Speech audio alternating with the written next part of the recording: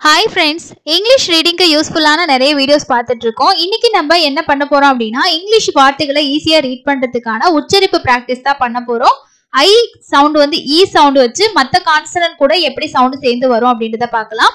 இப் இ பி இஸ் இ சி இட் இ டி இஃப் இ ஃபி இஜ் இ ஜி இஹ் இ ஹி இஜ் இ ஜி இக்கு இ கி இல்லு இ லி இம்மு இ மீ இன்னு இ நீ இப்பு இ பி இக்கு இ கி இரு இ ரி இசு இ சி இட்டு இ சி இவ்வு இ வி இவ்வு இ வி இயு இ இ இசு இ ஜி இந்த மாதிரி ப்ராக்டிஸ் பண்ணும்போது வார்த்தைகள்லாம் இந்த ரெண்டு எழுத்து சேர்ந்து வரும்போது படிக்கிறதுக்கு ஈஸியா இருக்கும். இந்த மாதிரி யூஸ்ஃபுல்லா இங்கிலீஷ் கத்துக்கிறதுக்கு சேனலை சப்ஸ்கிரைப் பண்ணிக்கோங்க.